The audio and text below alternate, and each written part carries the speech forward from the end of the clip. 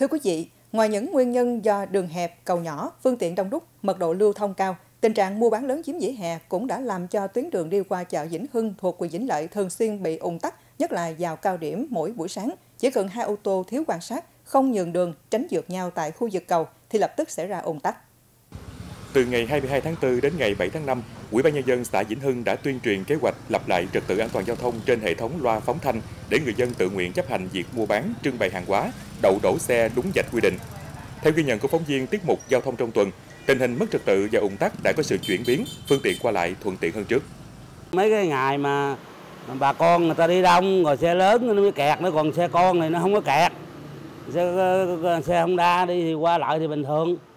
để khắc phục tình trạng mất an toàn giao thông khu vực chợ, Ủy ban nhân dân xã Vĩnh Hưng đã có kế hoạch tuyên truyền vận động và xử lý về trật tự xây dựng, trật tự vỉa hè, lấn chiếm hành lang lộ giới trên địa bàn xã nhằm thực hiện có hiệu quả công tác quản lý trật tự vỉa hè. Đồng thời sẽ xử lý dứt điểm, không để xảy ra tình trạng xây dựng không đúng quy định, hoạt động kinh doanh tập kết vật liệu xây dựng, mua bán lấn chiếm vỉa hè lòng lề đường, khắc phục tình trạng ủng tắc giao thông.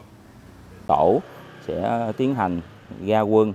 uh, tuyên truyền vận động người dân và ký cam kết buôn bán mà những cái ờ,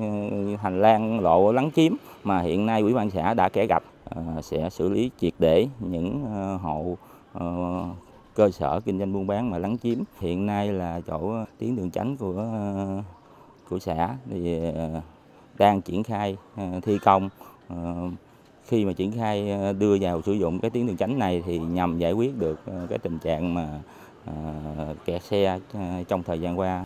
từ ngày 8 tháng 5, xã Vĩnh Hưng ra quân lập lại trật tự an toàn giao thông. Những hộ kinh doanh mua bán phải ký cam kết khắc phục vi phạm. Sau 5 ngày, đoàn sẽ đến kiểm tra và xử lý những trường hợp cố tình vi phạm. Tổ công tác sẽ áp dụng biện pháp xử phạt vi phạm hành chính và áp dụng chế tài tịch thu tăng vật. Ngày đầu ra quân, tổ công tác được người dân đồng tình hưởng ứng, tự nguyện chấp hành và nhận thấy rằng đường thông hè thoáng không xảy ra ủng tắc là điều kiện tốt để mua bán thuận lợi hơn.